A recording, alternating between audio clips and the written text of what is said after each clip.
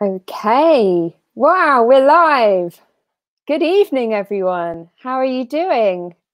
Can everyone hear and see me? I hope so.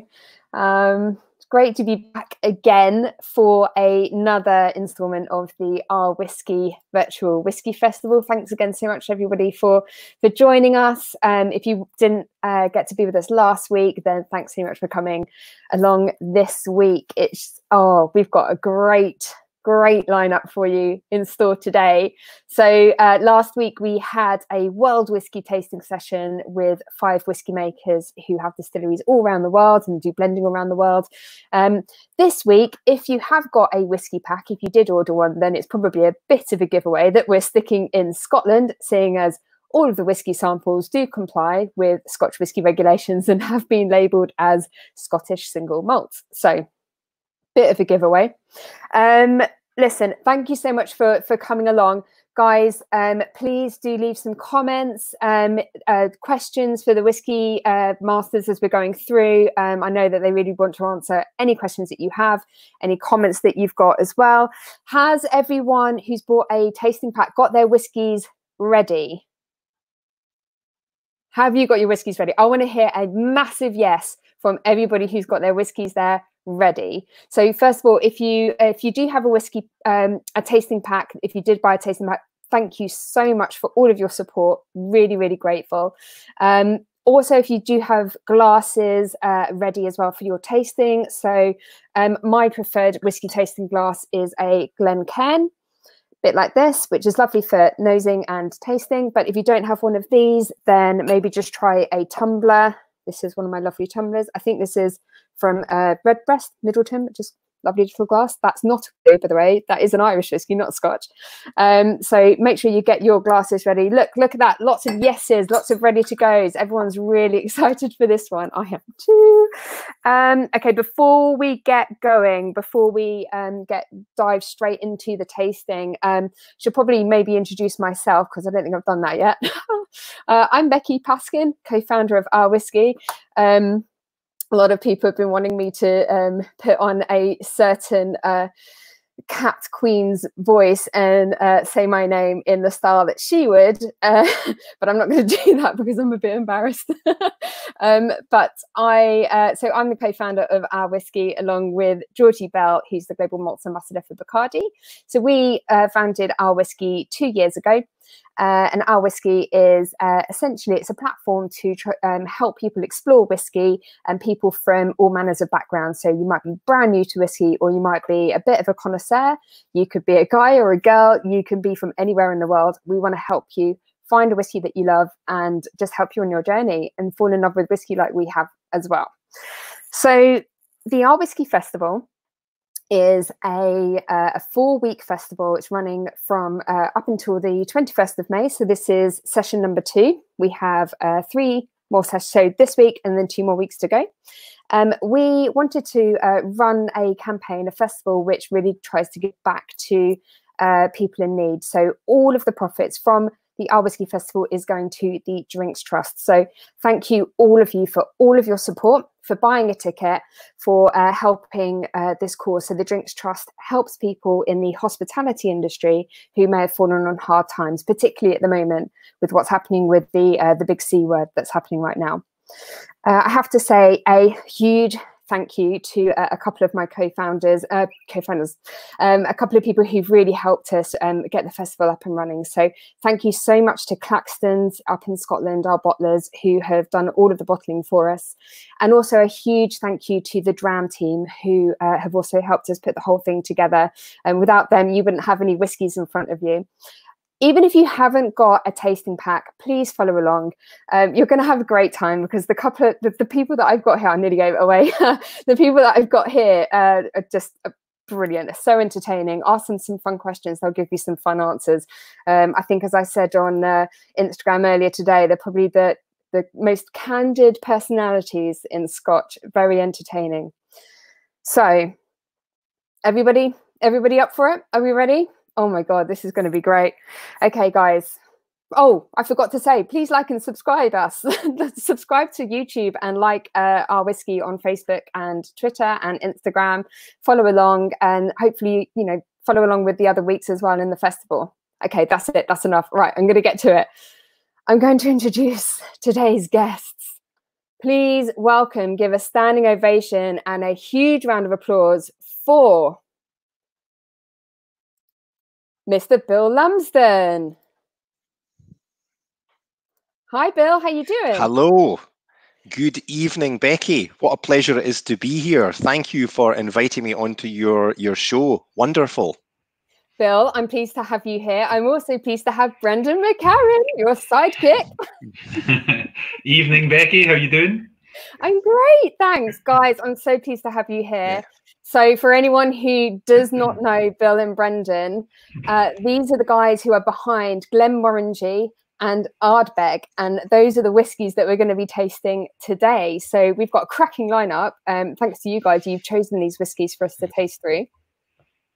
Yeah, and it's quite interesting, Becky, when, you introduced us there, that we, we felt it was prudent to let our PR and communications team know that we were actually doing this event tonight, albeit with the cloak of secrecy over it and one of the team sent a note saying the deadly duo ride again.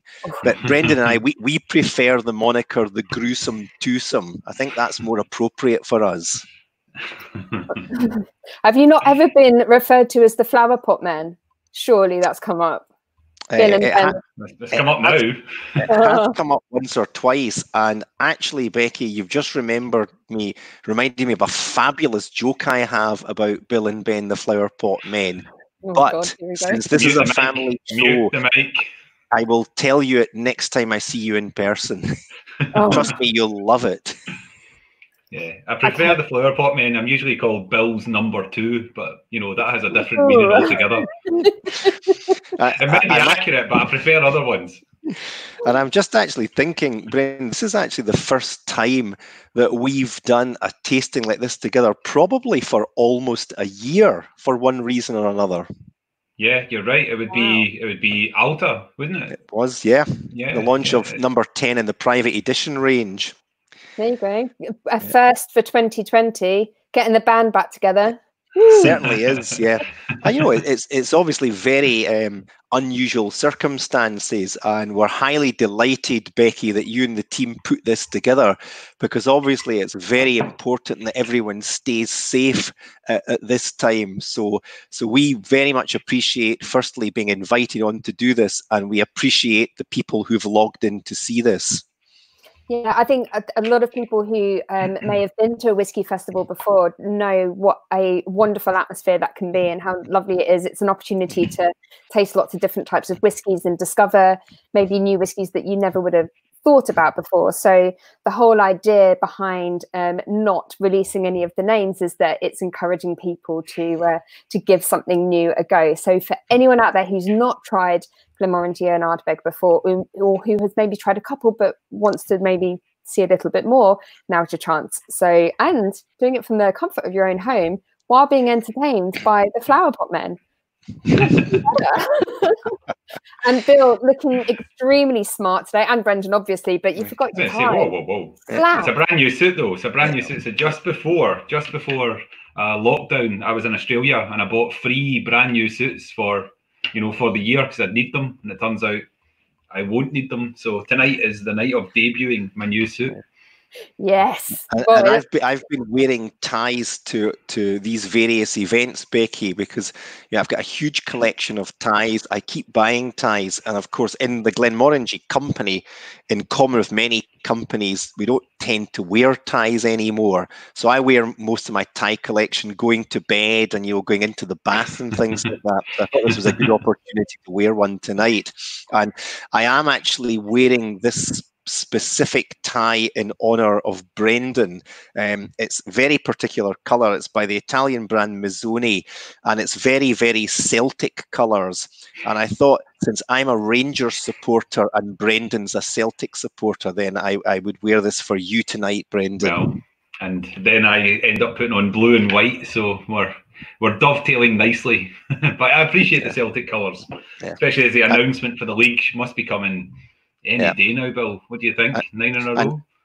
I, I have no idea what you're talking about. Becky, moving swiftly on. Gonna say, not talk about football because I mean, whiskey is what I, we're here for, right? Not the football. Indeed, Okay. indeed.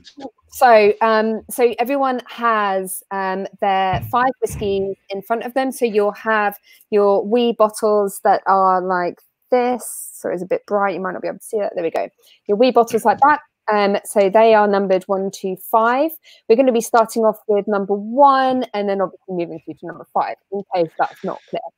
So to kick us off, um, we'll start with number one. But Bill, um, it would be really cool if you could maybe run us through, like, as a blender, and you, I mean, you've been doing this for a really long time, right? Decades.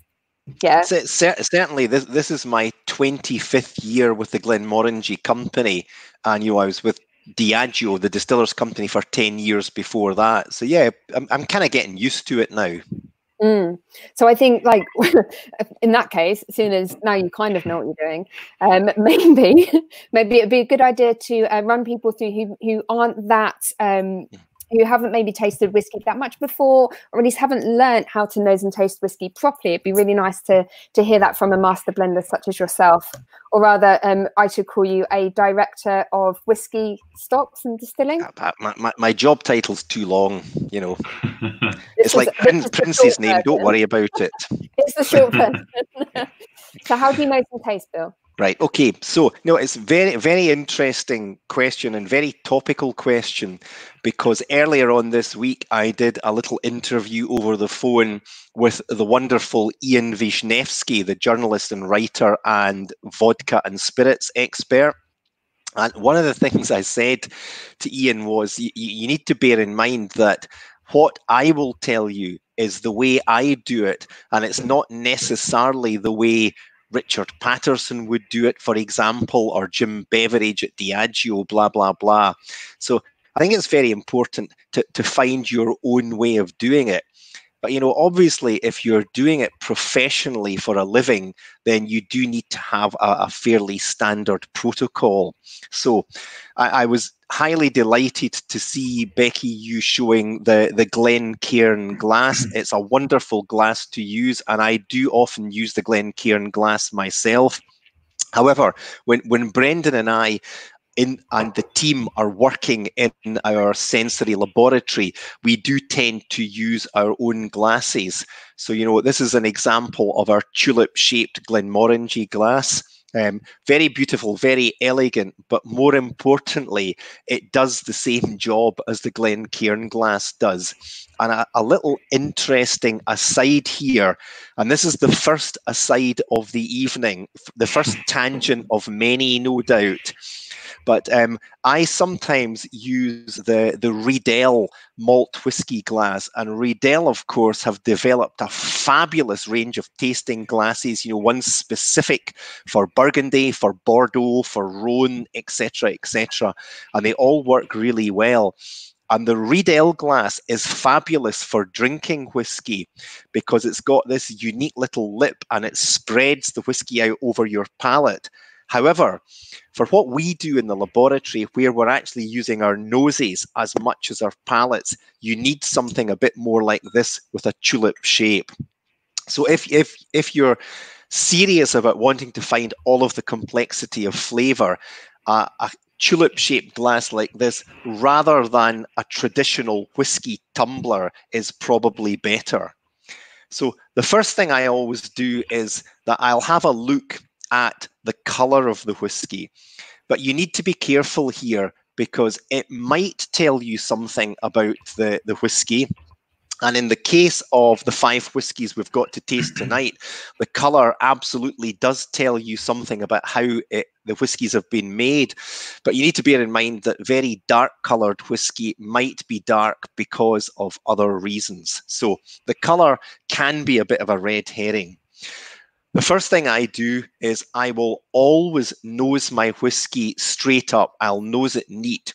And I'll do this whether it's at standard bottling strength of 40 to 43, or if it's slightly higher, like some of the whiskies we're tasting tonight, which are 46 and above.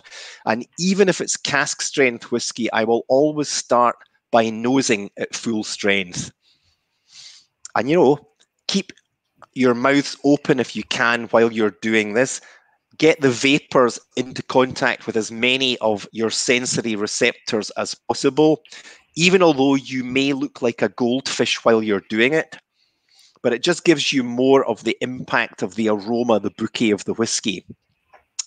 The next thing I will do is I will then cut my whiskey with a splash of water and then I'll nose it again and just see how the aroma is developing, how the bouquet is opening up.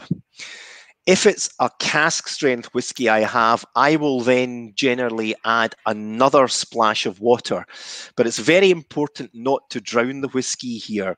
And I tend to uh, end up with maybe five parts whiskey to one part water in my glass. Now, I know in a lot of professional tasting laboratories, people will not actually taste the whiskey until it's reduced right down to 20% alcohol by volume. But from a personal perspective, I think you lose a lot of the mouth feel or the texture of a whiskey. So I say that's why I do it that way. Nose it neat, cut it with a little bit of water, and then nose it for a second time. Finally, and, and, sorry, and, Becky, question here. No, no, we're just like sitting here like nodding dogs, like, yep, totally yep. totally get that. Brendan, you you're, you're, you're, doing very well, Bill. You're doing very well. Keep going. Thank, thank you, sir. You're very kind. As, as long as you're not sitting there falling asleep, Becky. So the next thing I will do is I will then take a small sip of the whiskey. You know, just enough to get my my palate ready for the onslaught of flavor so that's going to come. And you know, I'll I'll think about the primary flavor. Is the whiskey sweet? You know, is it slightly bitter perhaps? Is it woody? Just get a, an initial impression of the flavors in there. Once I've done that, I will then take a much bigger sip of the whiskey and I will generally hold it in my mouth for a few seconds. Now, some people will tell you you need to hold the, the, the whiskey in your mouth for, you know, if, if it's a 20 year old whiskey, hold it in your mouth for 20 seconds before swallowing. In my humble opinion, that's marketing bullshit. You really don't need to do that. But you know, hold it in for a few seconds, then swallow. The first thing I think of then is what is the texture of the whiskey like? What is the mouth feel? Is it spicy? Is it peppery? Is it fiery? Is it smooth? Is it creamy? And then I'll start to think of the primary flavors of the whiskey. Now, probably at least 20 to 30 seconds have elapsed by then. So I will then treat myself, give myself a second opinion, and take a second big sip of the whiskey. And then I'll really start to drill down into detail and think about some of the individual flavors. So, uh, as I say, Becky, not everyone does it in the same way as me, but that's what works for me. And, you know, over many, many years of trial and error, that's the way I like to do it. Good. I think you know it, it's great to hear how a blender approaches uh, the nosing and the tasting of the whiskey. I think for a lot of people, if you are just kicking back at the end of the day and you're pouring yourself a dram and you just want to sit and enjoy that whiskey, just enjoy it whichever way you want. There is no hmm. hard and fast rule to you have to nose and taste it for however length of time. Certainly not necessarily 20 seconds to sit it in your palate before you can actually swallow it and enjoy it just whatever whatever works for you. Um, uh, guys, as you, as you know, Becky, I, I, I, said at the start, I have been sipping on my Glenmorangie original, a whiskey cooler here with freshly squeezed lime juice and some ginger beer in it. But you know, I wouldn't necessarily go through the the, the whole sequence I just described there for that. I'll just sip and enjoy that. Absolutely. Thank you, Um, we've got uh, so everyone seems to be. I can see everyone's comments coming in, and they are chomping at the bit to find out what this first whiskey is. So they've obviously gone ahead and tasted it with that wonderful uh, technique that you were just talking about. So we're going to have to go in and, and, and tell them all about it. Um, who, which one of you is going to take the first one? Yep. I don't it, think you've worked out your order. So. yeah, it, it's it, yeah. Be, believe it or not, for once, Brendan and I did a little bit of preparation this evening. About thirty seconds, Brendan, I think. Yeah, proud of yep. us. I'm so proud.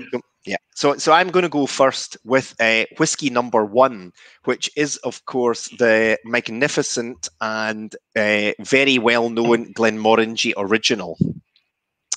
And you know, I I was very keen to do this in particular for a number of reasons. Um, firstly, it is the Glenmorangie Company's flagship expression. It's the most popular expression in the range.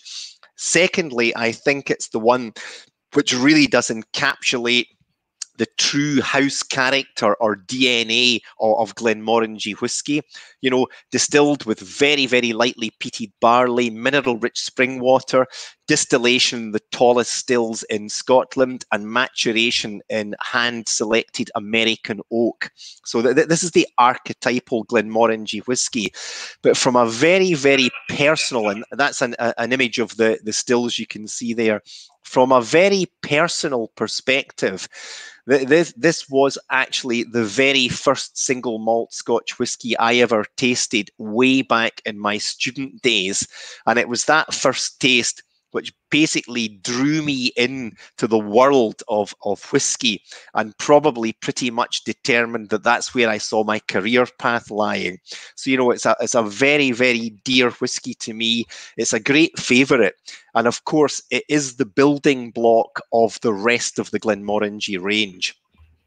So, uh, Glenmorangie Original, uh, aged for at least 10 years. And, you know, the Glenmorangie company has always bottled a single malt at this age for many, many years.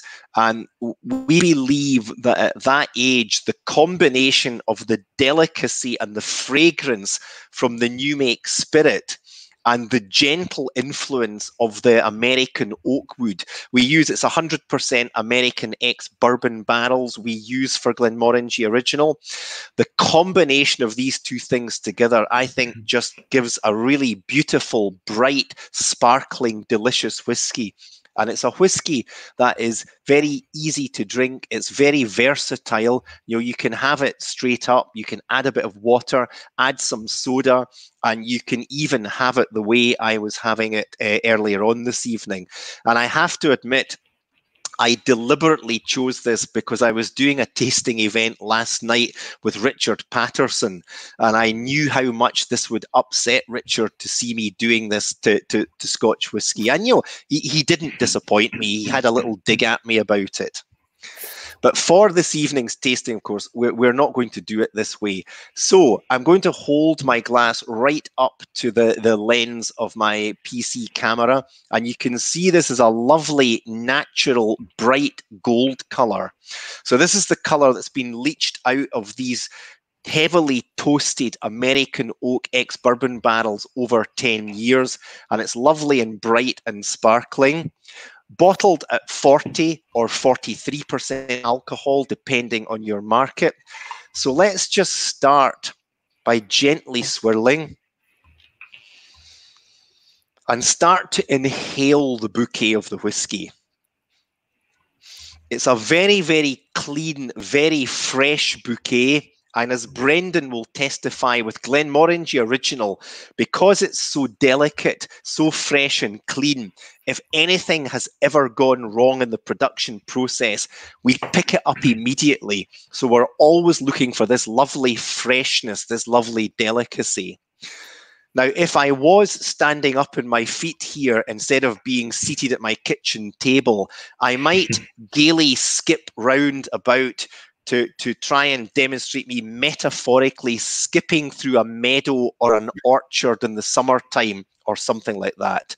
And okay, I'm getting a little bit bullshitty here, but it's just to try and say there's all these lovely, delicate, fragrant flavors.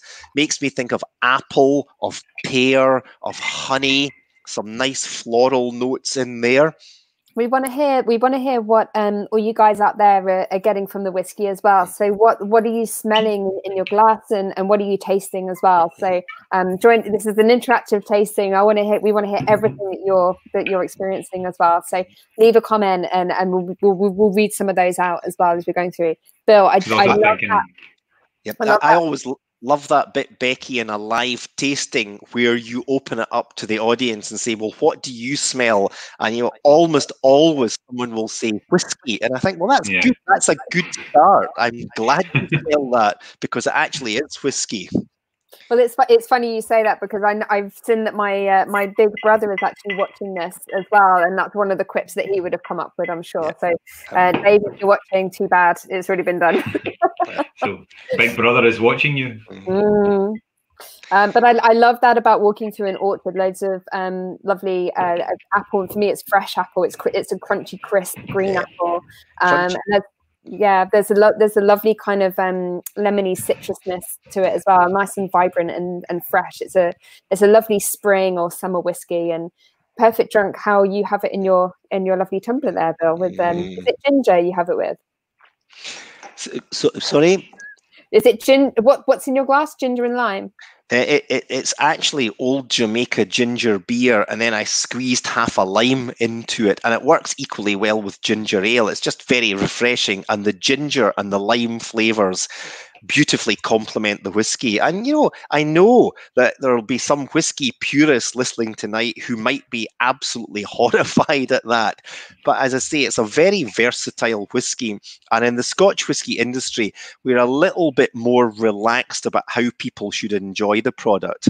And okay, last night Richard Paterson was not, but you know, he, as as as the godfather of the industry, he's allowed to take that stance. think he's allowed to do what he wants. Um, so here, here you go. Uh, there's the big bro chiming in. It tastes of whiskey. Of course it does.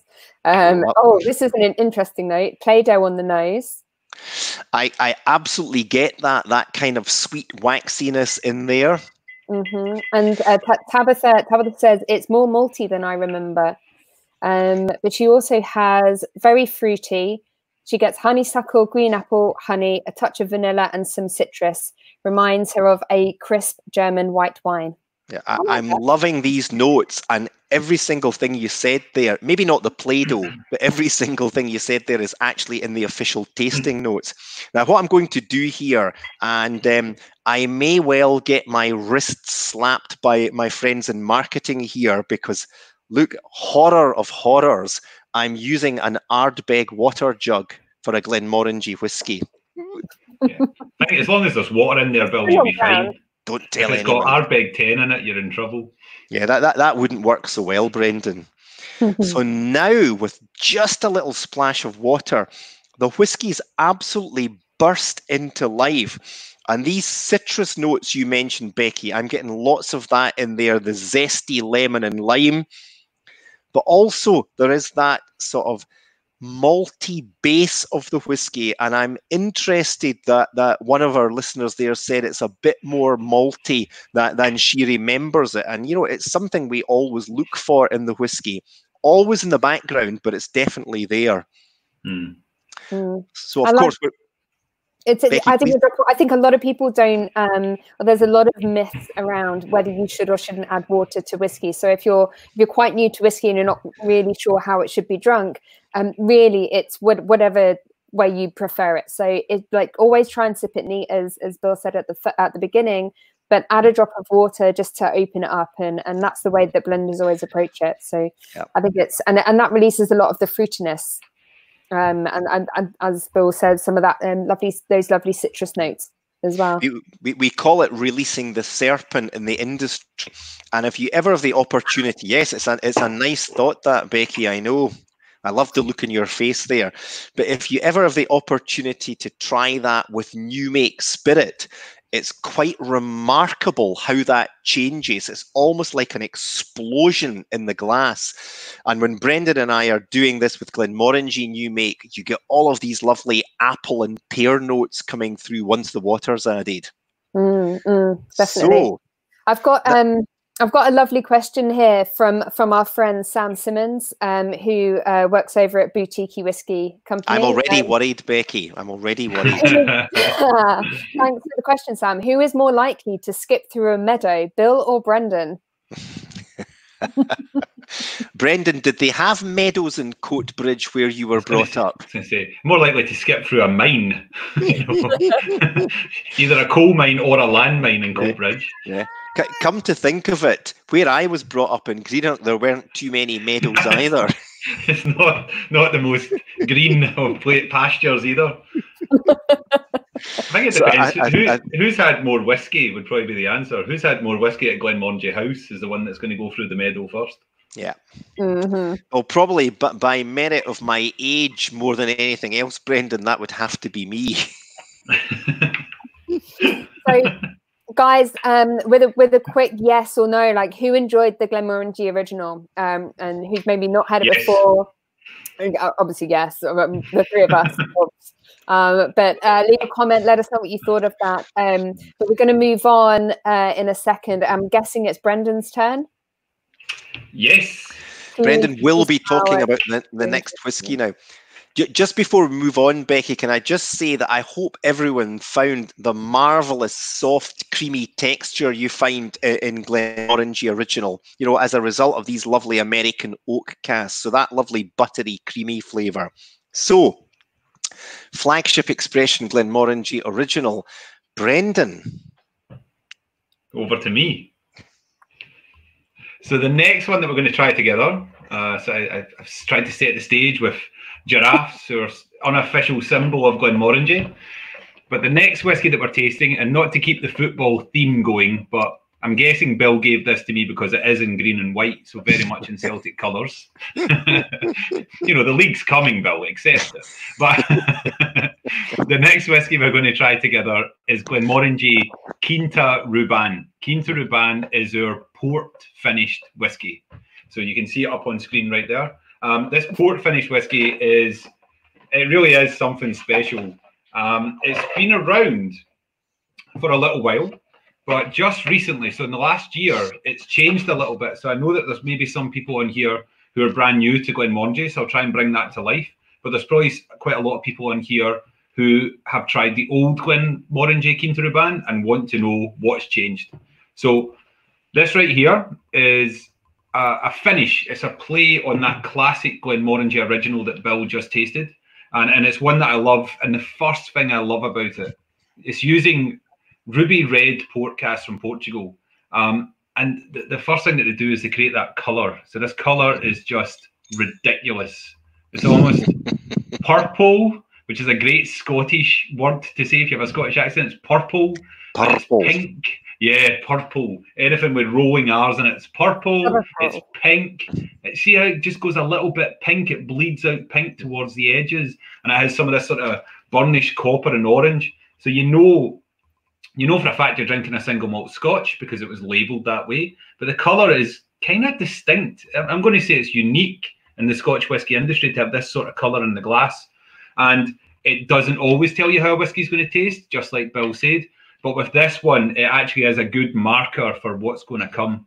So with this, you're looking at the first the first 10 years of its life is probably going to be similar to Glenmorangie Original. So the first 10 years, we're going to put it in hand selected ex bourbon casks, bringing out that fruity and floral nature of Glenmorangie, adding some of the vanilla, adding that that creamy buttery texture, and giving just that little hint of spice, something gingery or clove sort of uh, spiced in there.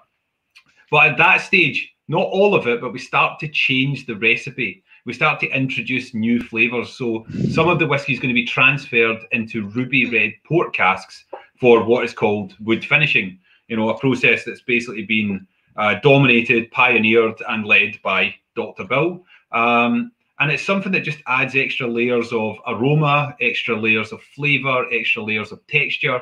And I guess if you add them all up in some kind of mathematical equation, it equals complexity.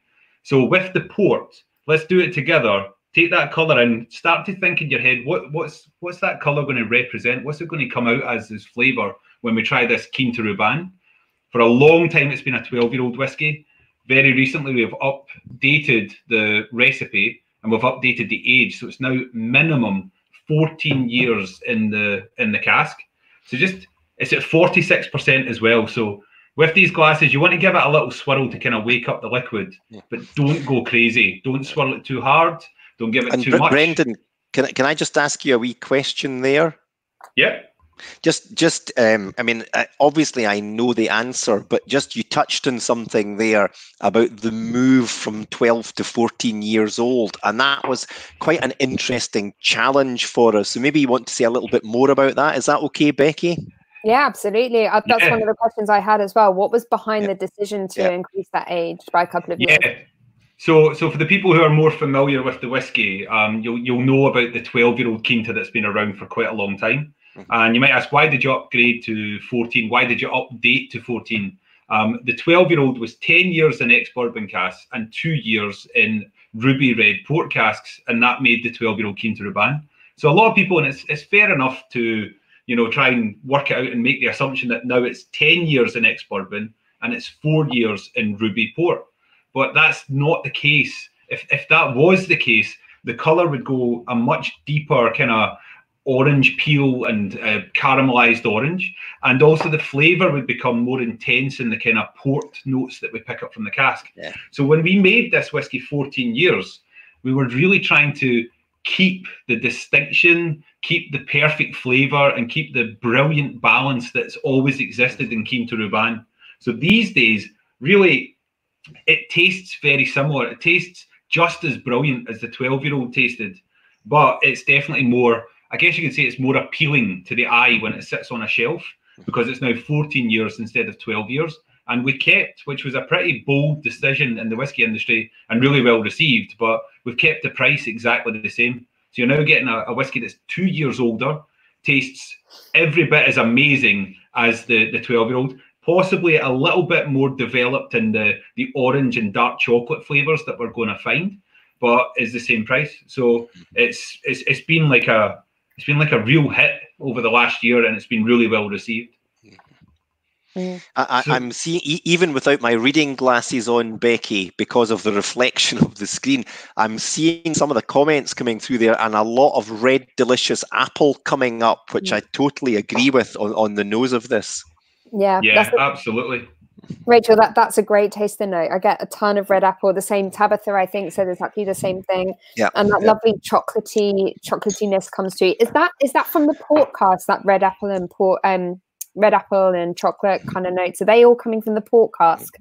So I would say that the the red apple is I would say it's it's, it's kind of encouraged, it's kind of brought out by the port cask. So almost like you know, if you add salt to certain foods, it makes certain flavors pop out. So I think that citrusy white fruit flavour is in Glenmorangie, and the cast have really encouraged it to come out. Mm. Now the chocolate, I I get dark chocolate. You know, I get mm. like this sort of really um, high cocoa, um, high quality dark chocolate. That absolutely is coming more so from the port cask. That that's yeah. encouraged out by those casks in a big way. I've got there's a great question here from from Tabitha actually. She says, would you mature exclusively in port casks or do you feel that finishing is better? Yeah, so I'll answer yeah. this quickly and then I'm definitely going to hand over to Bill because he's been doing it for a lot longer. um, I think if you matured fully in port, I think we could make a great whiskey, but it would be less consistent. So I think you could get a single cask that's had 14 years in port, and you know what? There'd maybe be 10 of them or 100 of them laid down, but one or two would jump out and you go, those are incredible. But at Glenmorangie, it's all about complexity and it's about balance. And if you went exclusively to port, I think you would actually you take away from the whiskey. You would take away the complexity. You would take away the discovery, and you would take away actually you take away quite a lot of that house style, the distillery character, yeah. and you kind of drown it out. Yeah. But Phil, that, that, that, that's that's your final comment there, Brendan. You absolutely hit the nail on the head. And as you know, we do have a very, very small number of old whiskies which have been in port casks for their entire life and you know they're totally fascinating and quite delicious whiskies, but they're not really representative of the Glenmorangie style, and that unique DNA has almost been completely masked by by the onslaught of flavour from the ruby port wine. So that, that's why, as Brendan said, we, we, we, we like this technique of finishing or extra maturation. Mm. And it's, it's, also it's also the reason for the strength. It's also the reason for the ABV being at forty six percent. So it's higher than the original, but we choose the strengths to bring out the two dimensions. You know, the flavour of the distillery and the flavour of the cask. Mm. One of the things I'm loving about the the Quinta Ruban is that on the nose, it's quite sweet and fruity and floral. On the taste, it's altogether more savoury. Now, of course, you get the fruits in there as well, but I'm loving this kind of slightly musky, savoury thing and all the dark chocolate mm. in there. Mm. Yeah, it's, it's, it's, almost like dark chocolate and then oxidation. I know oxidation yeah. isn't a flavour, but all these kind of oxidized wines and yeah. it's like a slightly balsamic flavour that comes through. Yeah. I'm seeing mm. dark chocolate and cherry That's with a CH, not sherry as in the wine, and I totally agree with that. Great eyesight, yeah. Bill. Without my know, glasses, that's impressive, eh? No, you're, you're, kind of you're kind of channeling your your inner British Airway pilot tonight. is, this, is this because you're missing traveling exactly so that's exactly what's happening here having not traveled now for quite some time in common with all of us i'm trying to pretend i'm a fighter pilot here with my headset on and you're proving you've got the 2020 vision as well by reading those super small comments and you're, I'm, I'm, I'm not so certain away. about that or um, um, british airways pilot or as rachel says britney spears that's a, I don't think there's too many people out there tonight who would mistake me for Britney Spears. Well, if your hair grows much longer, Bill, without that haircut. Yeah, that's very that. true. Yep, and you always um, have that schoolgirl uniform, Bill, that you could put to use. And you've just led me straight into it, Becky. If my hair grows much longer, um, I don't think yours is going to grow much longer anytime soon, Brendan. Right? Just, just, just here. Just let the Terry Nutkins look. If I'd stopped cutting it. On that note, um, shall we move into number three? Can I just say two last things about this whiskey? One yeah. thing is, if you're loving it at full strength, then then carry on drinking it.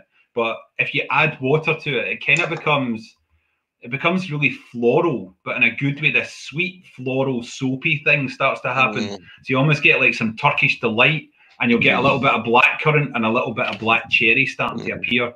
Uh, it also makes, I think, the best old fashioned on earth is if you make it yeah. with Quinta Ruban. And uh, last thing, and then I'm done, I swear.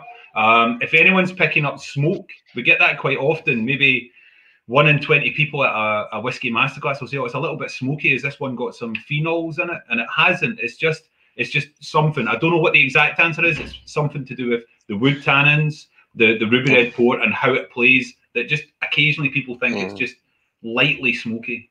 Mm. Yeah, I, I, think it's actually there are some phenolic compounds in there, but I think they are wood derived polyphenols mm-hmm. rather than peat smoke because, of course, yeah. the malted barley for most, you know, 99% of the whiskies we make at Glenmorangie are almost unpeated. Mm-hmm. And of course, we'll we'll be moving on to some peated whiskey with Ardbeg um, in a bit. We do have one more from Glenmorangie, which um, I don't think includes any peated malt. Is that right? No. No, the, the, the, some of the base whiskies in there, Becky, are just you know peated to a very, very minimal level, like the rest of the whiskies. You know, a maximum of two ppm phenol for all the whiskey geeks out there, which you know, to all intents and purposes, is virtually unpeated. That's the Glenmorangie House style. Mm-hmm. For people who are asking how much um, these whiskies are, what I'll be doing at the very end of the tasting is just adding some links into where you can purchase them from um, in the comments. So if you hang on until the end of the video, so we'll be going until about half past seven. So uh, just just hang with us, and I'll add some links in so you can um, head off and, and, purchase those. So stocked by most good retailers. Uh, on the ppm um, and and with phenols, obviously that's um, a sign of how peaty whiskey is. So a low number means not very peaty, and at, at two you're barely going to taste much smoke. Um, and a lot a lot of whiskies will um, peat their malt up to quite a high ppm um, in the 60s or even 70s, um, which is pretty smoky. So that there's a quite a range, quite a difference, isn't there? Um, but you guys, yeah, there's a difference, and there's also different ways in which you can measure the phenols. So it can be quite controversial, but you know, mm. we, we we we are just so happy to be invited on here, Becky. Brendan and I'm not going to be too controversial tonight. so. If you're not controversial, then I don't think we'd have achieved any goals. and, and it, it, was not lost on me there, Becky, when you talked about the timing of this. You said we're going to be going on to about seven thirty, and that was clearly directed at Brendan and I to say, "Remember, guys, you know, Set you've got a time limit here." Yeah to be honest it was more of a reminder because i can book in this um, perpetual um, non-existential coronavirus lockdown time yeah. warp that we're in i had no idea what time it was yeah, no, in the middle of all of this. So it was more of a reminder to myself to yeah. be fair. Um, but saying that um, let's move on to whiskey number three. So who are we going back to for that? Uh, you, you're going back to myself for this one, and so whiskey number three is the incredible innovative Glenmorangie Signet. Now, obviously, as as you know in particular, Becky, I could wax lyrical about this for the next four to five hours. People might not thank me for that, so I'm going to try and give a very succinct description of this product and how it all came about. So the, the, the genesis of it goes right back to my student days. And at round about the same time as I was discovering things like wine and malt whiskey, I also became interested in, you know, tea and coffee and good food you know, I, I, I was a typical student in these days who basically had desires way above his budget, like most students tend to have. And my pal Ian and I, occasionally we really did have ideas above our station and because we were both big fans of the james bond novels so this is the books by ian fleming as opposed to the films um, in in the books, James Bond occasionally drank Jamaica Blue Mountain coffee. So Ian and I thought, well, that's great. We're going to drink this too and sort of live the same lifestyle as James Bond. Haha. but one of the things that really struck me was that after shelling out substantial amounts of our meager student grants to buy Jamaica Blue Mountain coffee beans, while we did enjoy the subtle taste of it, I, I, I couldn't help thinking that I was ever so slightly disappointed in it. And, you know, that's a theme that's kind of lived with me throughout all of my life that the aroma of coffee is beautifully beguiling. There's a great promise in there. But I find when you come to taste it, to me, it never quite lives up to that earlier promise. So, being somebody who is either interested in something completely or not interested at all. I started to study where the coffee beans came from and how the roasting of the beans could bring out different flavors. Now, at that same time, I had discovered malt whiskey, and as you know very well, Becky, Glenmorangie 10 year old was my first. Balvenie 10 year old Founders Reserve, as it was known in that time was my second. Lagavulin 12 year old was my third. And I have to say, that was quite a shock to my young, hmm. delicate palate in these days. But so the, the, the idea of how malt whiskey is made and how coffee beans are roasted kind of merged together. And I had this silly idea that instead of the barley being dried over the traditional Scottish peat fire, wouldn't it be fun if the barley was roasted in a coffee roasting drum? And, you know, it was just a little idea at the time, which I kind of forgot about. And it wasn't really until I joined the Glenmorangie company at the beginning of 1995 that I decided to try and resurrect idea and actually do something about it. Now, the most mash tuns in Scotland, even the smallest ones, you're talking about them holding, you know, maybe two or three tons, uh, which is two or three thousand kilograms of malted barley. And some of the bigger distilleries, the, the mash tuns can be right up to 12 tons. So to try and process that quantity of malted barley through a little coffee roasting drum was just not going to be practical at all.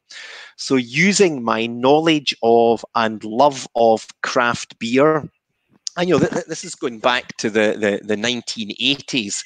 I was a particular fan of dark beer like stout or porter. So I knew that the, the, the barley for these, the malted barley was roasted in a giant drum. So I put two and two together and we bought some batches of what's known as high roast chocolate malt and experimented with it at the Glenmorangie distillery. So once the first batches of the spirit from the high roast chocolate malt had reached a particular age, you know, around about 10 to 12, we decided to taste it in a bit more detail. And I have to say, I was ever so slightly disappointed with the result because that whiskey on its own was very, very bittersweet and it was much more espresso coffee style. So I spent quite a bit of time in the laboratories with my team uh, in these days, which included Rachel Barrie, who was very heavily involved in the recipe for this. And we finally came up with a recipe which we believed brought out the best of the, the chocolate malt whiskey. So that was launched in 2008 as Glenmorangie Signet. And, you know, hats off to my friends in our marketing department who I think did a wonderful job designing a bottle which beautifully reflects the character of the whiskey. So Signet has been available for nearly 12 years now, and it is one of the more inconsistent whiskies we have in the Glenmorangie range. It's a very complicated recipe, the heart of which is the whiskey from the chocolate malt.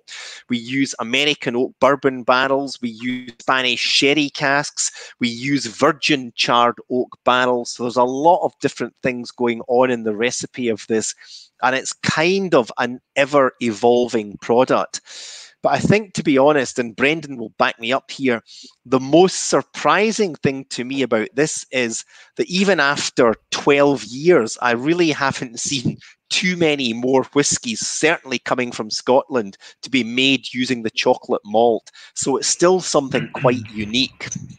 Mm. Yeah, it doesn't doesn't surprise me at all actually, because I'm only a few years with Glenmorangie and I've worked at several distilleries. It's madness if you're a distillery manager to yeah. switch yeah. off. You get you have to switch a distillery off once a year for the boiler. Once you get it back up and running, you're like, do not interfere. You know, do not touch it. Just let it run through until the next time I have to switch off. So to go down, introduce high roast chocolate malt, do something completely different in the middle of production is it seemed like madness before I joined here. And then when I joined Glenmorangie Company, it's yeah. it's it's something we do. There's, a, so, there's an interesting related question to that actually, Brendan, as well. That's um, that's come in from uh, oh, it's just a bit Alex Beckwith, um, who says, "How often is Signet made at Glenmorangie Distillery? So you are having you're having to shut off and then pick things back up again. How often do you do this?"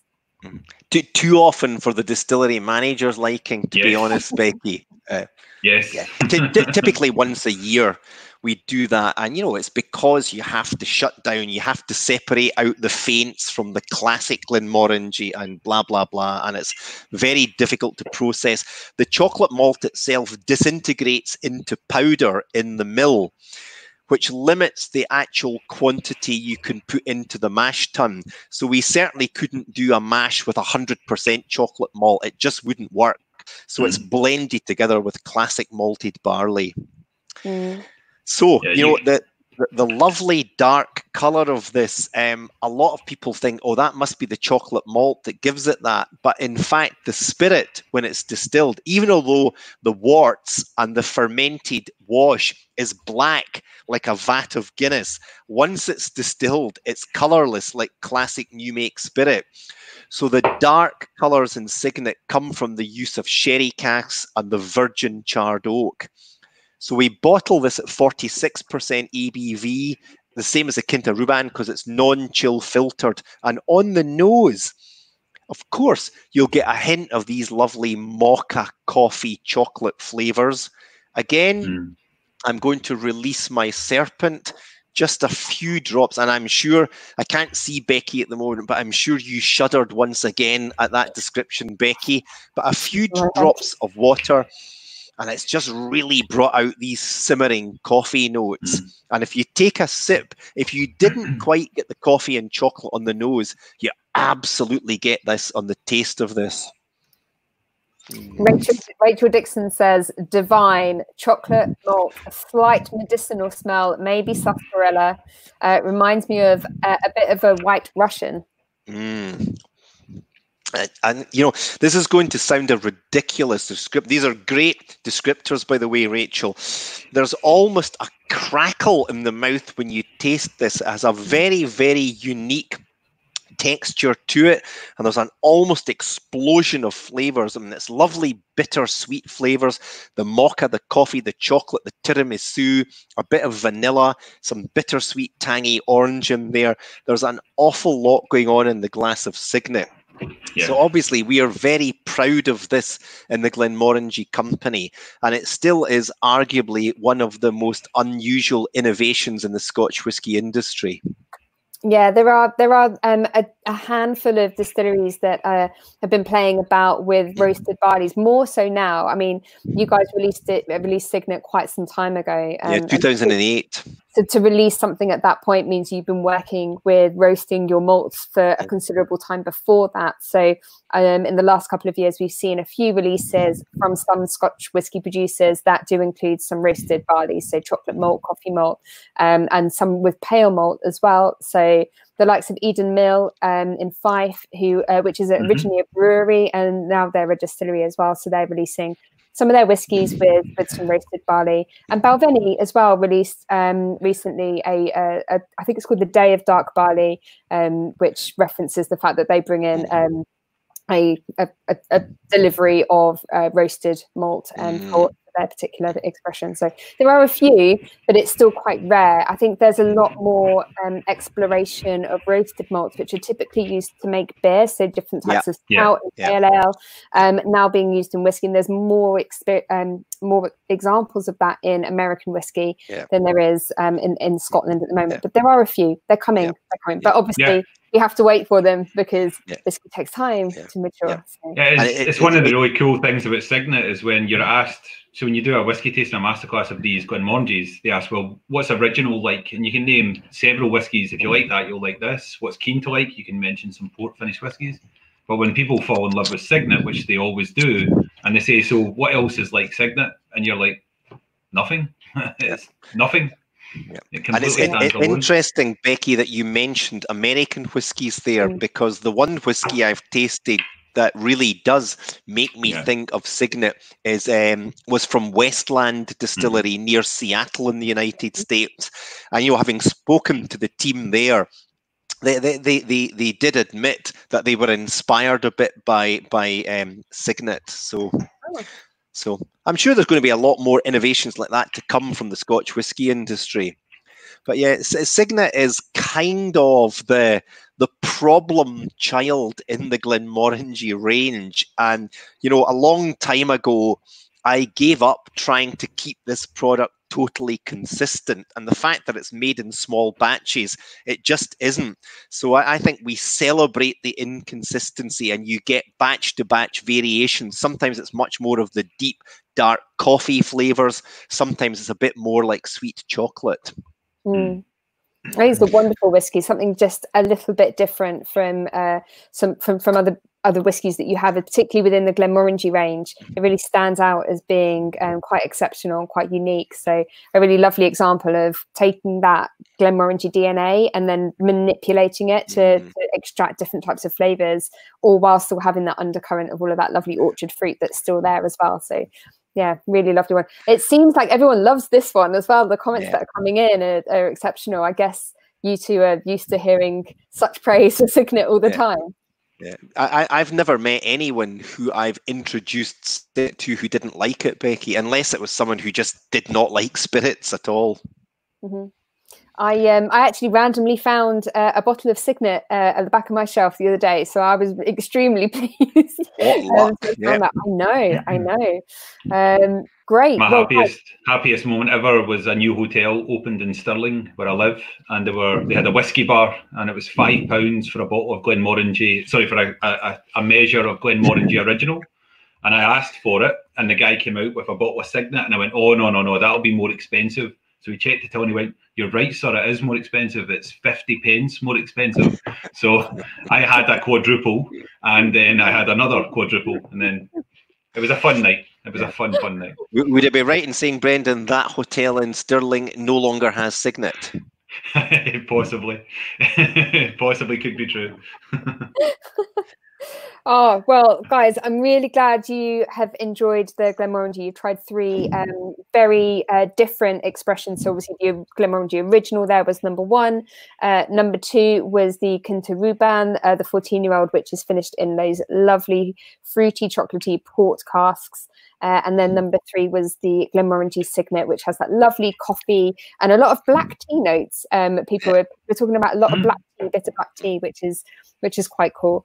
Um, we're going to be moving away from Glenmorangie now, uh, moving you on. We're going to be heading west. I still have to do Never Reach Red Week. We're going west. Go Oh, west. south where west, Fi- yeah. where Fievel went. Um, Life and we're is gonna- peaceful there. Exactly. there you are.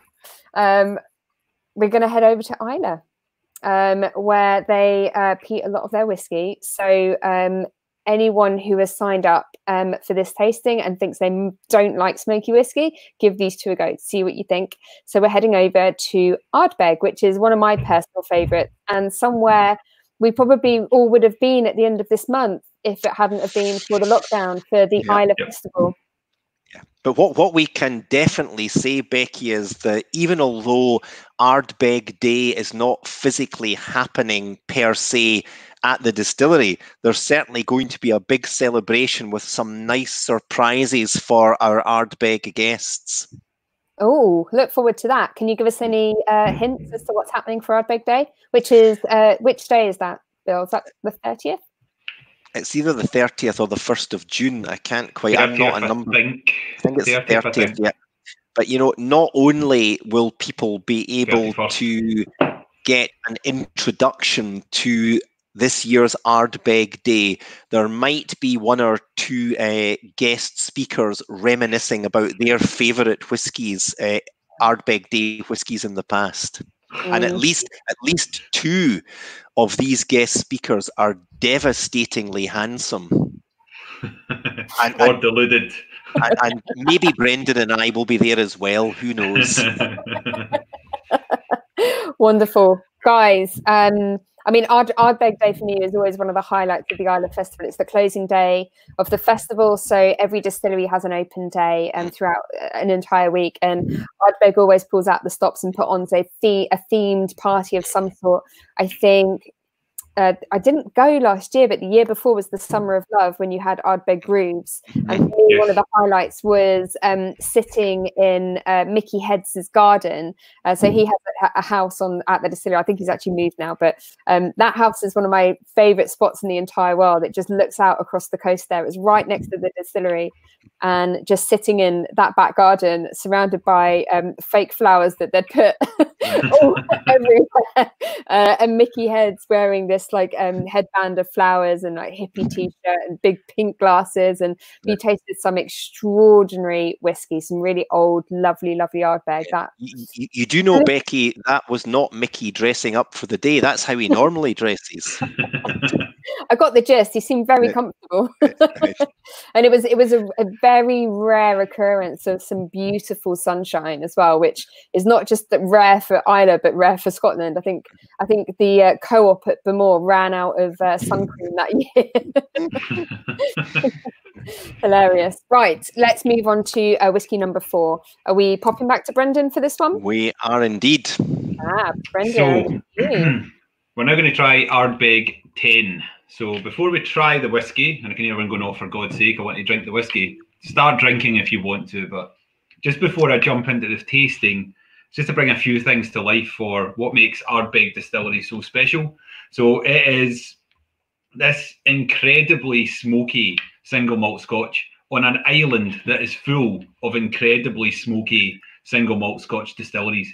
Um, Ardbeg shares a coastline with Laphroaig and Lagavulin. These iconic sort of smoke monsters are on the Kildalton coast on the south coast of Islay. And it really is just something a bit special. So we have intensely smoked peat, uh, intensely smoked barley, I should say. Lots of peat on the barley. You're looking at 55 parts per million phenols and up if you're obsessed with those numbers. But I think Bill, as well as I, would encourage you don't don't obsess over the number of uh, the, the phenols, but it's how you treat those intensely smoked batches of barley that come to the the site. Uh, when we mash, we we ferment in wooden washbacks, and when you have wooden washbacks, it just means that each fermentation starts off with a little bit of something from the previous fermentation left behind. So it makes it a little bit funky. It makes it a little bit soapy. It makes it a kind of crazy, waxy, dank texture that comes through in your Ardbegs. And then during distillation, we have a fairly unique style of distillation. So we have a purifier on our spirit still. It's just this this little just this little bit of extra copper that returns some of the distillate on the spirit still distillation, adds a little bit of copper, polishes things a little. And really, all I would say is the purifier just gives you like an opportunity to look through the smoke and try and find some other flavors that are in each Ardbeg that you try. So, the most famous Ardbeg, I would say, is the one that I have right here, is Ardbeg 10. And I don't know for definite, but I'm about 99.99% sure that this is my favourite Ardbeg of all time. Um, but I, am on the fence, 99.99% on the fence, but on the fence. but what I can tell you is my, so you're always asked, what's your favourite whiskey? You're always asked that when you work in the whiskey industry. And it's impossible to answer. It's impossible. But I can say that probably my most memorable enjoyable and unadvisable experiences ever was drinking an Ardbeg. So I used to live on Islay. I lived on Islay for three years, but I worked for the enemy. So I used to work for a different company but part of my job was I used to run two distilleries, but also I made a lot of heavily smoked barley and would sell it to various distilleries, including Ardbeg. So while I was on that island, I lived on Islay, which has 2,900 people, and I was but a Brendan, single if man. If you don't mind me interrupting you just for a second, you're being very modest there. You were running Caol Ila Lagavulin Distilleries and Port Ellen Maltings. You know, you, you had a big job there. So you were mm. running the maltings that was supplying our Ardbeg distillery. Sorry. I'll, yeah. It's true. I also had a full head of hair and a clean driving license. Don't I was a catch. wait, wait. Was, was that a nice comment that you made about Brendan there, Bill? yeah, don't don't get used to it, pal. Okay. Get it, get it written down. Someone, someone screen grab. Someone screen grab this. This is recorded. You can replay that, that was 2020's nice comment about Brendan, okay? No, but thank you, Bill. Thank you. but when I lived on Islay, I was there on my own. So I was a single man. So uh, I took up running. Um, mm-hmm. and the first big run that I ever did was on Islay. What, was there a lot of marathon. happy sheep? When you were a single man there was a lot of happy sheep in Islay, Brendan. I can tell my sheep story as well, where there was right. one day I came home for lunch and I got a feeling that someone was in my house and there was a sheep in my house, which I had to drag outside. And as I dragged the sheep outside, some of the football team drove past. Wasn't a good look. it was completely innocent. Where the lipstick and the earrings came from, I'll never know. But guys, guys this would be entertaining. This is Carry but on. if you run if you run the Islay half marathon now, Bill's run it and I've, I've run it. it. Well, I was supposed to, but then I got shin splints. I couldn't. But I was there. I so that's slight, slightly different, Becky. But you know, yeah, yeah, we've all ran it. We've all, and Bill and I have also ran it with probably the worst preparation in that we were a little bit hungover. Am I allowed to say that? It's too late. Yes. We were slightly yeah. hungover. Yeah. Um, but I ran it and I finished. It was my first half marathon, and I was exhausted, like absolutely spent. And you go down the hill at Bowmore from the round church, and the finish line's right there. And you think, thank God, this it's just momentum taking me down this bloody hill. And you finish, and Mickey Heads cheered me over the line because Ardbeg sponsor it. And he went, Brendan, are you all right? And I went, Mickey, I'm dying. I'm dying. I need I need something to drink. And he went, I'll help you out. So away he went, and I was expecting a lovely big bottle of cold water, and Mickey mm. gave me a glass of Ardbeg 10. so maybe not the most advisable thing, but I will never forget how nice that drama whiskey was. So I think it's my favourite whiskey ever, but you can never be certain. But it's definitely the whiskey that I most remember drinking. Mm-hmm. Something beautiful. How was your half marathon, Bill? Was it similar to mine? Um, I, am guessing yes, it was in that um, I had hopelessly underprepared for it, and I think I had run maybe as much as seven miles in my practice. And I will never forget. And I ran it with the former distillery manager Stuart Thompson, and I'll never forget getting down the bottom of the hill near uh, Islay International Aerodrome and you turn right heading back to Bowmore. Mm-hmm. And firstly, I was hit by the wind, and then I saw this road disappearing into the horizon. Yeah, and I thought, Billy boy, what on earth are you doing here? So it was a, a very painful experience. But the most painful part of it all for me was, and bear in mind, I was that was about 15 years ago when I got over the line at the Bowmore distillery and checked my time. My time was two hours, one minute, and 37 seconds. So I just missed breaking the two hour, which really, really, really pissed me off. And I was a bad mood for the rest of the night. and I never ran it again. it's a weird half marathon, though, isn't it? The, I mean, the year yeah. that I sort of did it, didn't really do it. Um, it was like four seasons in one day. You've got yeah, like yeah. hot sunshine, and then the hailstones come in, and then you get the wind, and then you get the rain, and then it's gorgeous sunshine again, and you just can't quite prepare yourself for everything that's blown at you because it's just eighty percent yeah, eighty percent of the run is uphill as well because my cousin had an iPhone. This is how long ago it was. He was very trendy with an iPhone, and it measured it, and it's eighty percent uphill. Yeah. So yeah. Glad I didn't do it then. Yeah. You know, I, would love to say to our, our listeners tonight, I can thoroughly recommend running the uh, the Ardbeg Islay Half Marathon, but I won't because I can't recommend it. it's just the party afterwards party afterwards is amazing. So Ardbeg Ten, Ardbeg Ten. Remember what we talked about earlier. So you, you give it a swirl before you nose it. Have a look at the color because the color is going to give you an idea of what you're going to taste. The color is going to give you an idea of what to expect. Not in this case. Not in this case. Ardbeg is very paradoxical, and with Ardbeg 10, I mean, look at that. It almost looks like a glass of white burgundy. You know, it just looks like something that's going to be austere, gentle, elegant, beautiful, maybe light. Maybe the flavors will take a while to come out the glass, and then just give it that little swirl and get your nose in there.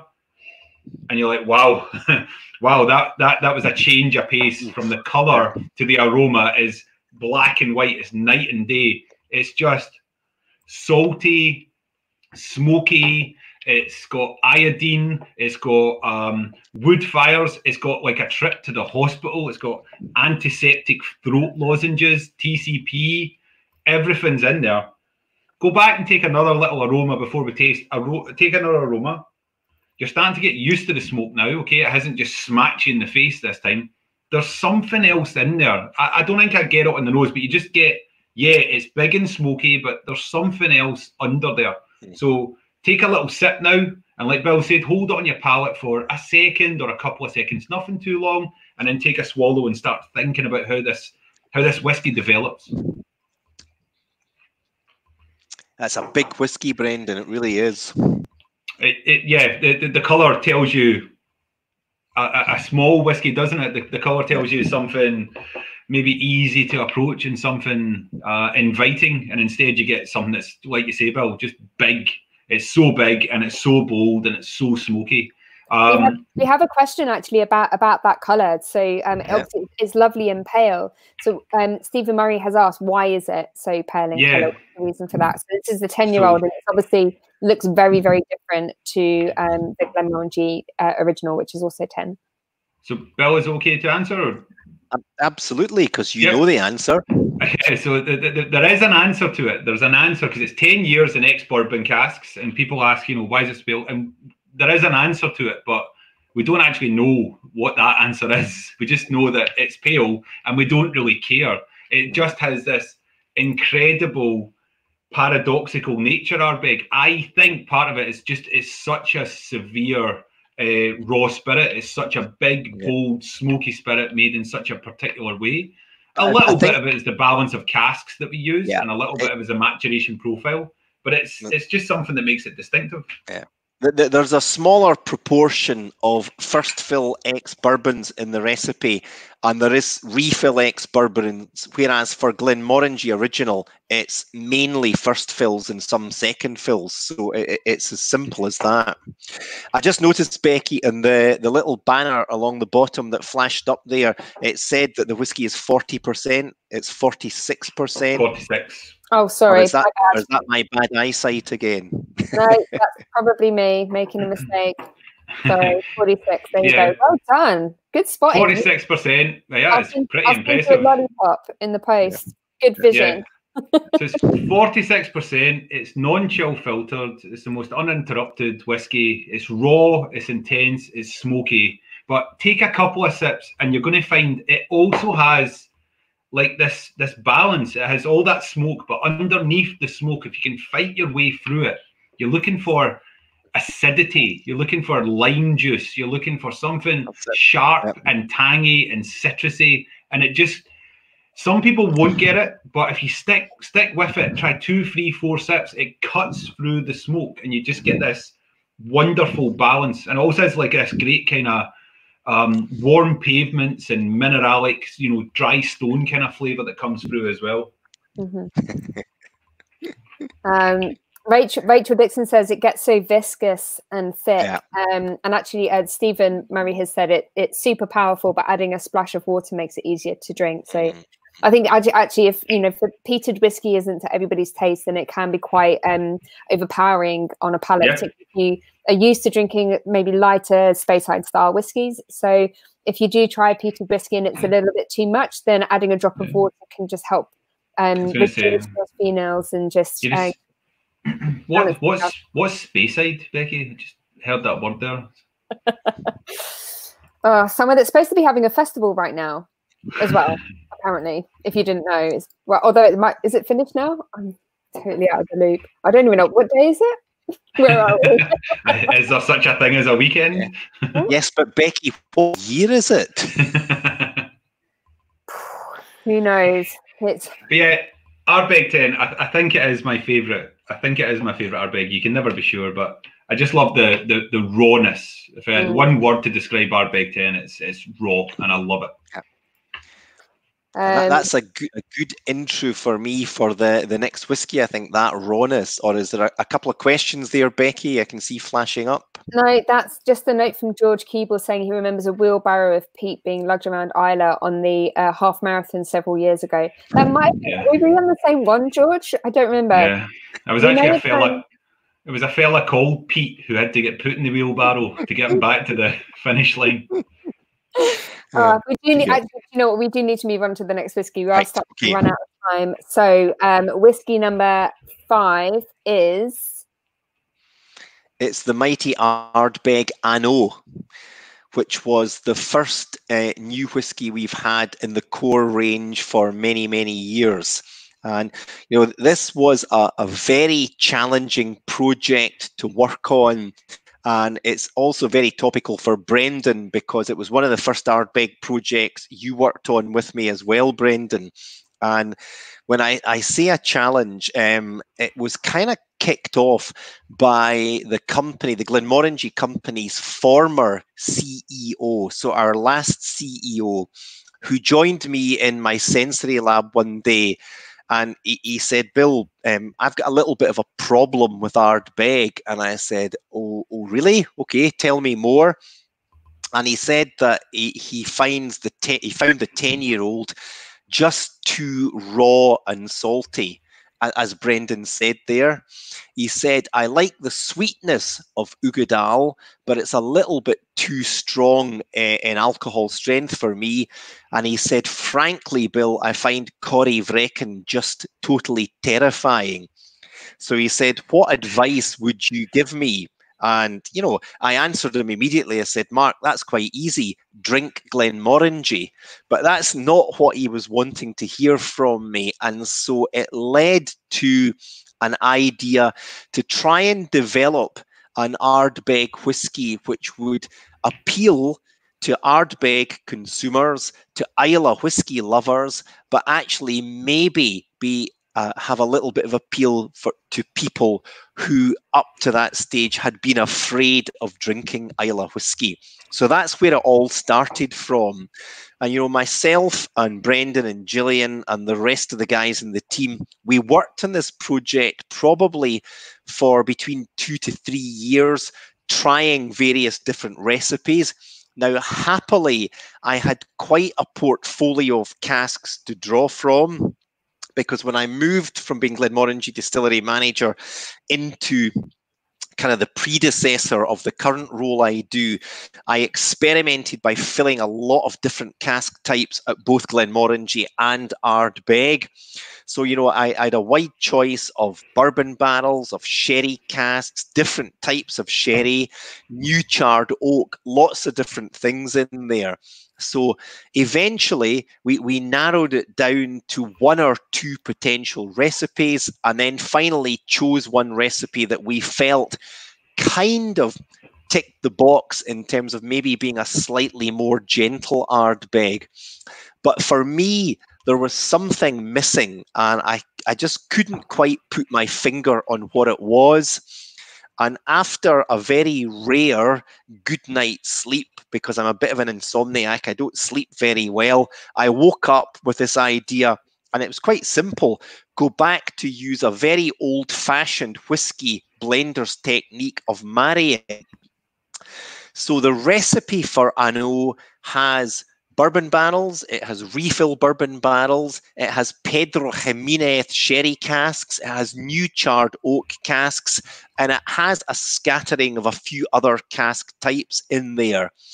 So we installed at the 11th hour large, very, very old French oak marrying vats. And when I say old, what I mean by that is that the wood is no longer active so it doesn't actually directly contribute flavors itself, but it's very porous as French oak is compared to American oak, and it lets the whiskey breathe.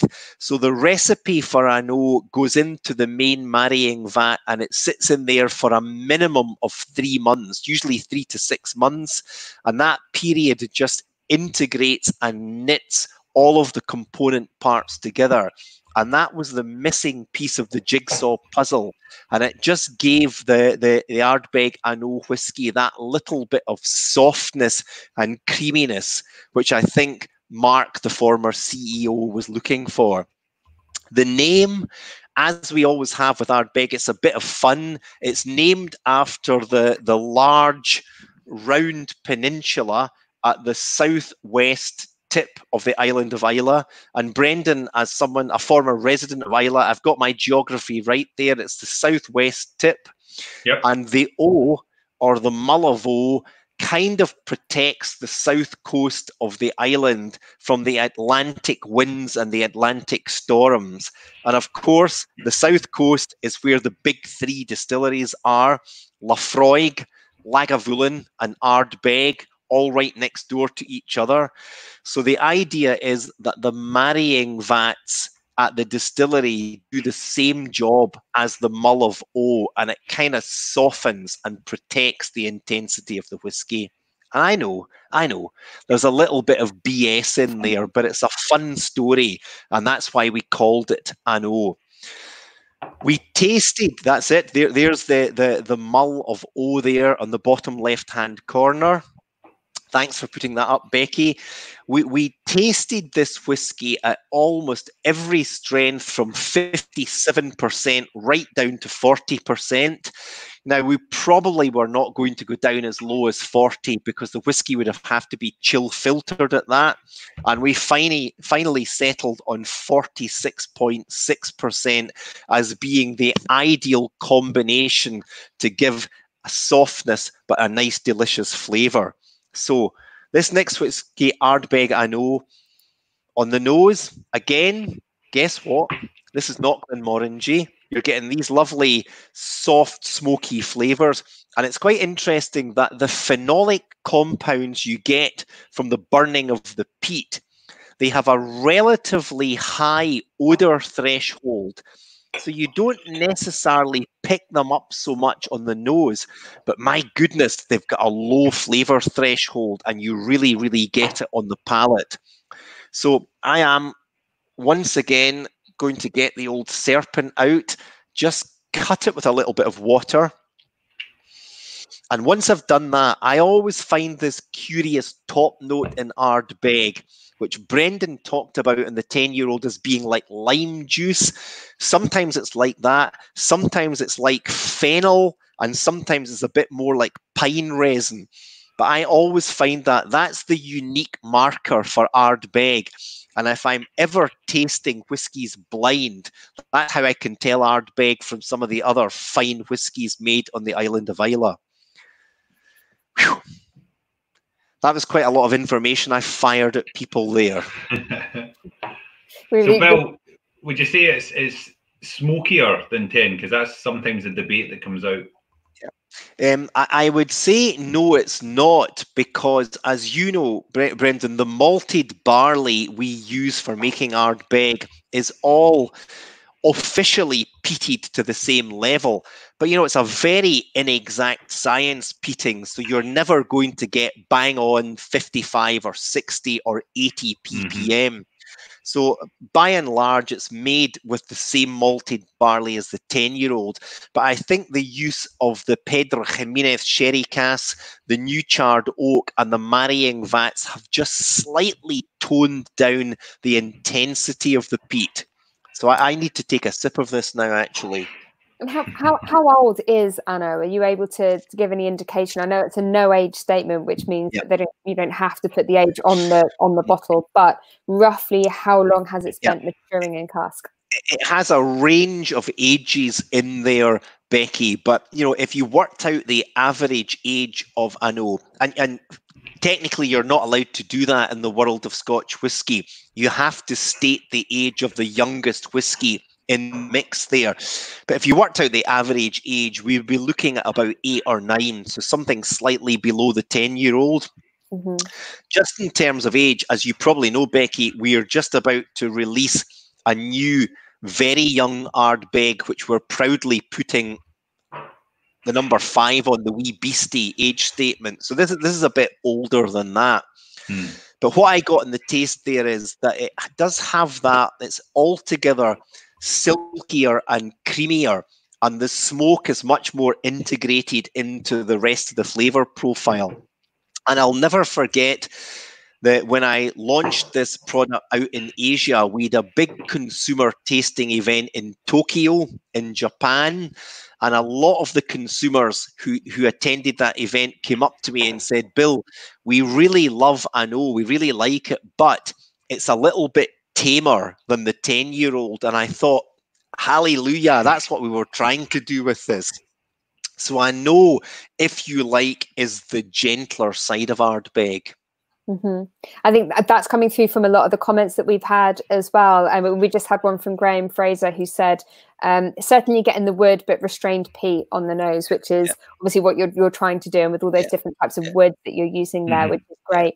Um, we've got from from Tabitha, who's tasting notes I love. Um, mm-hmm. she has uh, malt, molasses, smoked ham, pineapple cubes, cola, spearmint, and peanut. Yeah, yeah Tabitha's sounding like competition, so I think we're gonna have to have her like taken out. Yeah, Ta- Tabitha. You know, I, am loving some of Tabitha's savoury notes in there because I think we said, Brendan, on the official tasting notes of An Oa that we picked up something that reminded us of grilled artichokes. Hmm. no matter how ridiculous that sounds, but there is something vegetal and savoury in there. It's true. Guys, guys, we've got because these two have rattled on for bloody ages. We're running out of time. So if you've got any questions that you want to put to these guys, and then put it in a comment now. I'll see yeah. how many we can get through. Maybe we will ha- might have to do quick fire because uh, we like we know how much these two uh, just can do a lightning round, like a oh, lightning round. Exactly. So I, I have a question. I'm going to kick off while people put all of their questions in. Um, really exciting news that came from you guys. Um, was it earlier this year or the end of last year? Um, about a new um, experimental distillery that's being added on to Glenmorangie, which is so exciting. Can you tell us a little bit about that? Yeah, absolutely. And, you know, this came from the same former CEO, Becky. And I went to him one day and said, I, I was bored. I knew I was lying. I wasn't bored in any way, shape, or form, but I, I was on a mission. And I asked him to give me some money to build a new distillery. And he thought about it and he said, Well, starting a completely new brand takes a long time. So he said, How about I give you the amount you asked for minus X and you do something at Glenmorangie. So Project Lighthouse, as we call it, is what came out of that. And while we have done many, many interesting experimental things at both Glenmorangie and Ardbeg, there are some things that we wanted to do that we simply couldn't do. So that's why we've built this new distillery, which will help us innovate. Now, the, the, the, the Lighthouse Distillery, and it's a project which Brendan has actually been managing, it can produce classic Glenmorangie. It's got two full-size Glenmorangie stills, but they've got bells and whistles added onto it. So if Brendan and I have our way, it will never, ever, ever be used to make classic Glenmorangie. So the current crisis has stopped the the building program there and we were planning and opening this roundabout now so it's yeah. been slightly delayed and we'll announce the new opening date within the next couple of months or so brendan do you want to add anything to that no i, th- I think you've you've answered it perfectly it's it's just it just gives us time and the levers to play in any way that we want to. So we're we are super innovative right now, um, but this is it just lets us do so much more spirit led innovations. Gives us a chance what, what, to like. What's a lever, Brendan? Is that something you find in the United States of America? We've got levers so. here in Scotland. Says the man who talks about novels, novels of Ian Fleming and films and films. Films. Films. um, we have actually have a question from uh, a few of your future blender Tabitha, um, who has asked. This has come up a few times actually. Would Ardbeg ever experiment with a non-peated expression? Well. Yep, um, I mean we we have done. We've had a number of expressions over the years. We we had Ardbeg Blasda, which was very lightly peated. So Tabitha, yes, we do have one or two casks of unpeated Ardbeg in the stock profile. The challenge we have is that there's so much peat smoke everywhere in the distillery that even the casks of unpeated Ardbeg have a frisson of, of peatiness about them. But yes, we, we, we have done that, and there may well be some releases in the future. Good. Um, I think maybe just one last question. I'm not sure whether it's a question or a tasting note. Andrew Budge wants to know chicken or beef? Well, I, am no. quite greedy, so I like both. It depends what mood I'm in. Yeah. it's like surf and turf, but if you can replace the fish with a chicken, then I'm in. good, good. No, well, uh, Andrew, I'm I'm vegetarian. I will answer that and say I'm good. Uh, I'll have yours as well. Just order it and I'll eat it. I'll I'll have both, and then I can I just can clean up. Be the washing up after. Let's challenge those stereotypical gender roles. Yeah. So, so Becky, do we have time for the Bill and Ben joke? Oh no no no no no no no, no, no. alarm alarm there. alarm! We're not going there. We're not going there. Poor Bill's gone bright red. Bless him. um, guys, okay, look, that leaves me to thank absolutely everyone for um coming along. Bill, Brendan, Ardbeg. Everyone who's behind the brands, thank you so much for um, presenting your whiskies, um, allowing us to taste through them as well. This has been uh, eye-opening, uh, wonderful, and I hope everybody who's been watching along has um, discovered something new. Maybe wants to go away and buy a bottle. Um, as I mentioned, I'll put links to where you can find all those bottles in the comments at the end of the video. So if you want to go and have a look up uh, any bottles that you want to purchase, you can do so there. Um, thank you as well. Big shout out to Claxton's and to the Dram team for um, helping me put this together.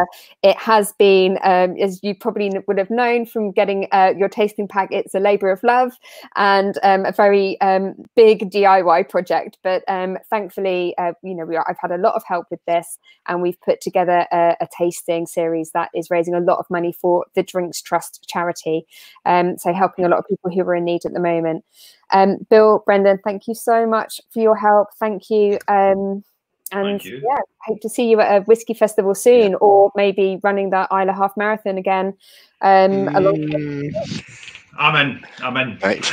Maybe- I, I'm I'm I'm in for the whiskey festival, not necessarily the half marathon. Brent, Brendan, maybe you can push him along in that wheelbarrow. Okay. Right, Thank you very much, thank you. Becky. Thank you so much. Cheers. Right. Um, it just leaves me to say thank you so much to everybody for um, joining us for the festival. I really appreciate it. Um, let us know in your comments which were your favourite whiskies. Um, really want to hear about everything you've been um, tasting and what you think of them. Um, join us again for uh, next week's uh, tasting, which is on Thursday, the 14th of May at 6 p.m. again. So, same place, same time, just different day. Um, and then we have our final one on the 21st of May as well. If you've liked this, then please share it with all your friends. Please share it on your social media, like and follow us, and subscribe to our YouTube channel. You never know, there may be more to come from OurWhisky at some point. So um, please uh, follow us. Um, great. Thank you so much for joining us. And I hope to see you all again soon. Um, take care, stay safe, keep well, and uh, let's all have a dram again when we're at the other side of all this. Bye.